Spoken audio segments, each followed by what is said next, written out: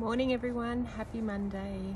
I'm just uh, outside. This is where I'm teaching my Monday morning mindfulness and nature class. Um, it's in my garden just outside the studio and it's a beautiful morning in Melbourne which is kind of a bit rare because it has been quite grey the last few days and weeks.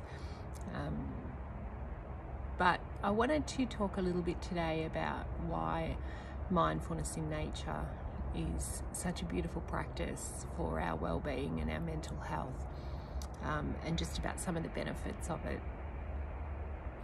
So when we encounter nature quite often, um, in particular a really beautiful part of nature, we often feel compelled to sit down and that is um, partly due to the fact that when we sit down we can contemplate um, which is kind of a natural way of being mindful and, and practicing mindfulness so the invitation is to you know take up a seat on the ground um, and really feel into your sense of belonging in that place when we contemplate so what we do in, in our class is we find a spot that we really connect with and that's where we sit. And it might just be, you know, somewhere in your backyard, uh, a local park or garden, um, but ideally somewhere where you can kind of get to know and I think it's nice to have a little zen spot in your garden that you can um, spend time in. And I've created a few in my garden, including a sort of a spot like around a, where we could have a fire, um, but then also other spots um, with different plants as well. So this is one of my favourite and this is where I like to teach my class. So when we um, sit in nature and move into this kind of contemplative way of being in nature, um, which we deliberately cultivate in the class and, and I give guidance on how to do that our attention begins to soften and um, so often in human-centric environments um, the design of, of of those places is very demanding on our attention. You know there's a lot of screens nowadays. Um, there is quite harsh lighting like really bright lighting. Um, and they often are very clinical kind of looking places. Um, so when we're in nature, our attention begins to soften because nature is a lot softer, it's a lot messier. Um, things connect into other things. We see those connections quite obviously.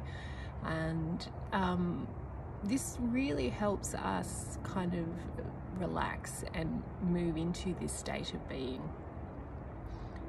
Um, so we really feel that sense of wanting to sit and contemplate. And um, a lot of people comment you know like they find it really hard to do a mindfulness practice sort of inside but once they come out in nature it it's just comes so naturally to them which I think is really great. Um, so when we move into this contemplative way of being we go into a kind of dialogue with nature um, and it's this kind of intuitive, instinctive way of being that uh, is really where our connection is to nature. Sure, we can think about nature and we can develop theories and conceptualize it, um, name it, you know, label it, but it's in that instinctive and um, intuitive way that we can really start to be in communion with nature. And I think that this is something that we kind of lose touch of when we're online um, or when we're, you know, in human in human-centric environments a lot. So when we move into this contemplative state, we can really start to examine uh, our sense of self in nature and who we are um, in nature.